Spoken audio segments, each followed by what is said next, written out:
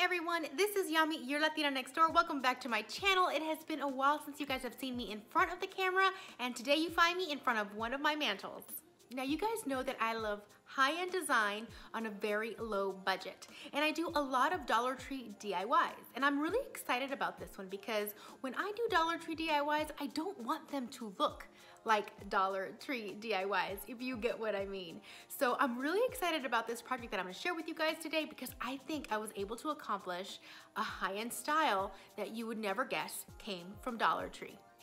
Now, I have been looking for new stocking hangers for my family of five, and I have not been able to find anything that was reasonably priced and also to my liking. So I decided, why don't I make some of my own? The biggest problem that I was gonna face was how to make it hold an actual stocking and be sturdy because there's not a lot of things in Dollar Tree that you can think of that have a lot of weight, but I was able to find a solution to that problem. Now this is what I'm talking about right here. These are the stocking hangers that I came up with from a Dollar Tree and I am gonna show you how not only to make them look super stylish and customize them to your taste, but also to make sure they actually function and are heavy and work just like a real one.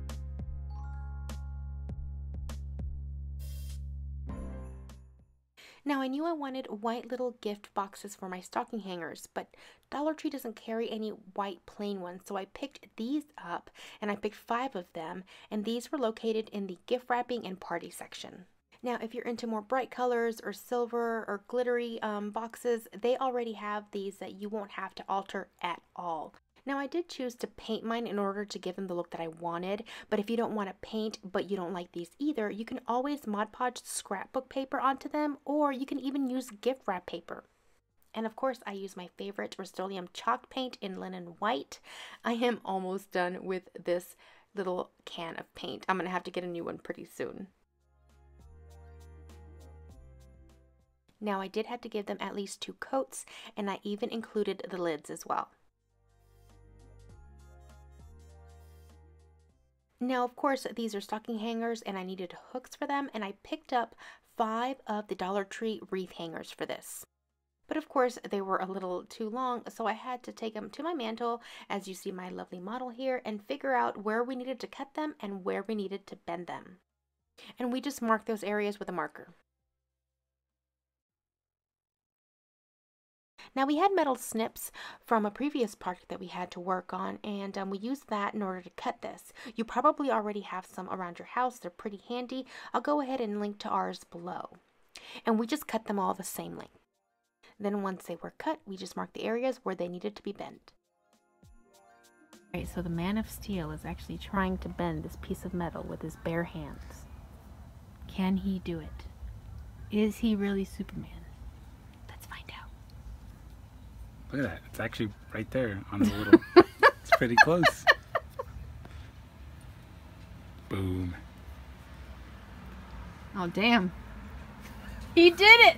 So the average person may want to put this in a vise and let it be all technical, but the Latino engineering, that's how we do it.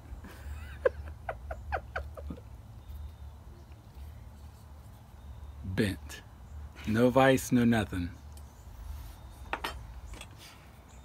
It might also be that the metal is really soft. Yeah, well, you know, you don't need to let the truth get in the way of a good story. Okay, so the next step was to spray paint these white. I started on the bottom, gave it a couple coats, and then flipped them over and did the same thing. Alright, once those were dry, it was ready to assemble. Now, don't worry about the top part of the actual hook. It doesn't need to be um, painted the entire way because that part is going to be glued on underneath that little box. I used a combination of both E6000 and hot glue for this.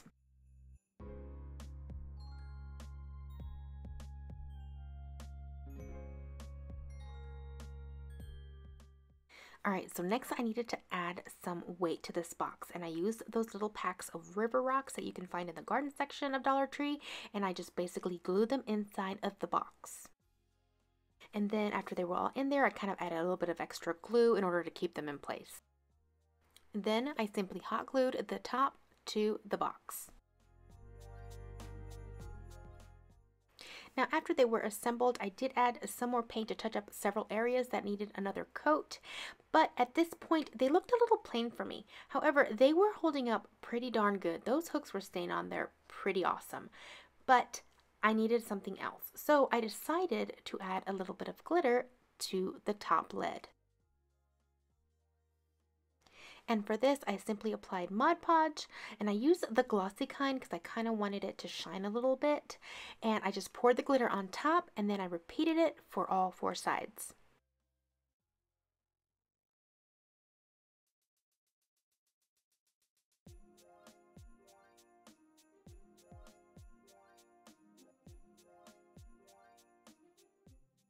Now I did not film this, but I did add another layer of Mod Podge to seal all that glitter and prevent it from falling everywhere. Now, since Dollar Tree doesn't have any buffalo checker at this moment, I did get this ribbon from Hobby Lobby. And then what I did was I just wrapped it around and hot glued it on the top lid.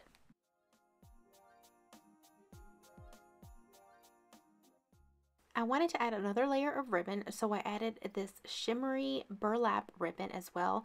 I got it from Hobby Lobby as well, and all this ribbon was half off.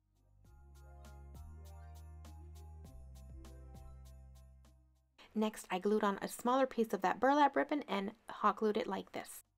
Next, it was time to make the bow.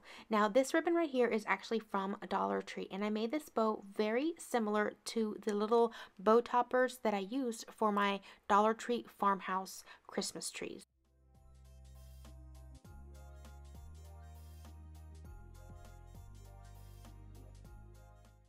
Then I used the small shimmery burlap ribbon in order to create the bow and hold it together. I use a lighter in order to prevent my ribbon from fraying at the ends, and I have another tutorial where I explain how that works and I show you exactly how to do that. I'll make sure to link to it in the cards above and in my description box. Then finally, I attach the bow to the box.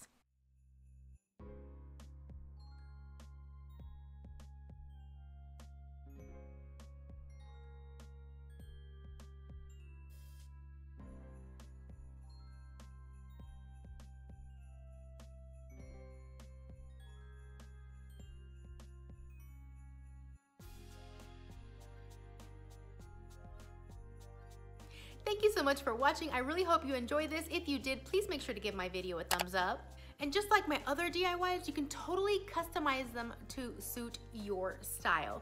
If you don't want to make the bow permanent, you don't have to. You can actually just tie it to the top and then the following year when you decide to change your color scheme, just change the bows as well and they will go perfect with your new decor. But that's not the only thing you can do to customize them or change them up. You can even change the color of your boxes as well and just paint them. So if this year you did white, next year you can do red, the following year you can do purple, I don't know.